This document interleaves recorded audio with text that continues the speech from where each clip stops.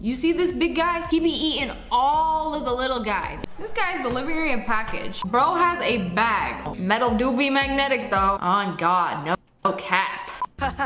oh my gosh, that is so funny.